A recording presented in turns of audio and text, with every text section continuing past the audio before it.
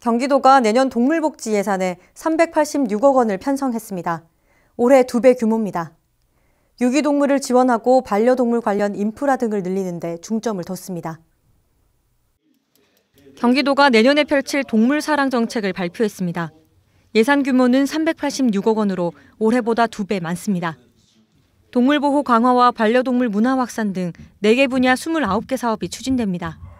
유기동물 관련 제도가 가장 큰 비중을 차지합니다. 입양비 지원과 길고양이 급식소 설치, 동물 등록제 지원책 등이 새로 시작됩니다. 아울러 도가 운영하는 도우미견 나눔센터의 기능을 길고양이까지 확대하겠다는 방침. 반려동물 놀이터와 반려동물 테마파크 조성도 박차를 가할 계획입니다.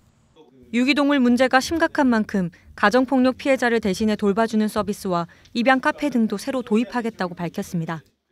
1인 가구와 노년층 증가에 따라서 반려동물 양육 가구도 지속해서 늘어나고 있지만 유기동물 역시 매년 증가하고 있어서 제도적 관리와 지원에 대한 요구가 커지고 있습니다. 이에 따라 경기도는 생명 존중이 기본이 되는 동물복지 정책을 추진하여 사람과 동물이 함께 행복한 경기도를 만들어 나가겠습니다. 이 밖에 관련 정책을 보완하기 위해 국내 전문가로 꾸려진 협력기구도 구축할 예정입니다. 경기 지역에 등록된 반려동물 수는 47만여 마리로 전국 30% 수준입니다.